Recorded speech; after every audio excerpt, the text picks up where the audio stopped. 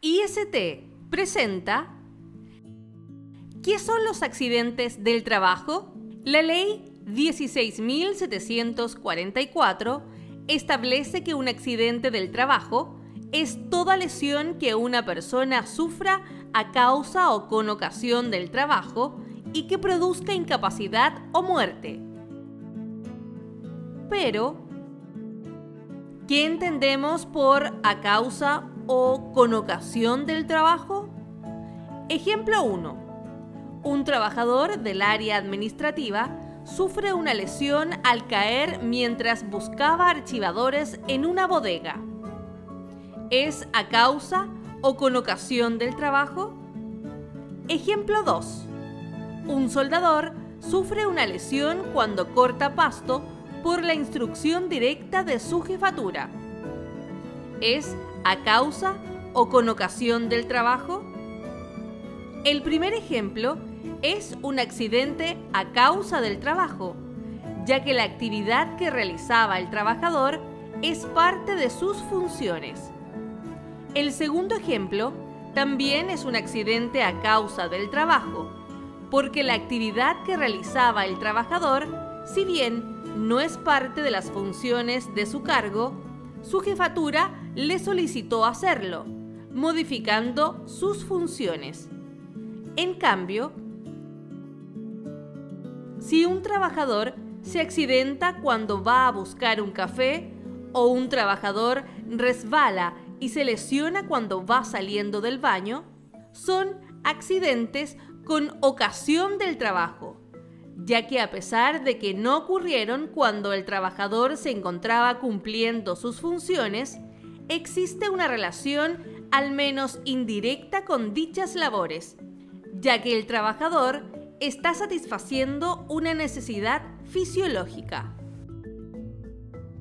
Entonces, los accidentes a causa del trabajo son aquellos en que existe una relación de causalidad directa con las funciones que debe cumplir el trabajador, mientras que los accidentes ocurridos con ocasión del trabajo son aquellos en que existe una relación de causalidad indirecta con el trabajo. Recomendaciones para prevenir los accidentes del trabajo. 1. Antes de realizar un trabajo, analicemos la forma más segura de hacerlo y no asumamos riesgos que podrían generar un accidente. 2 Sigamos siempre las instrucciones y procedimientos. Si no sabemos, es importante preguntar. 3. Si vemos a un compañero de trabajo realizando acciones inseguras o en riesgo de sufrir un accidente, debemos prevenirlo y mostrarle la manera segura de realizar la acción. 4. Mantengamos nuestras áreas de trabajo y herramientas limpias y ordenadas. 5. Utilicemos herramientas en buen estado y adecuadas para el trabajo que debemos realizar. 6. Respetemos las señalizaciones y utilicemos los equipos de protección personal. 7. Operemos solo los equipos que estamos autorizados para utilizar. 8.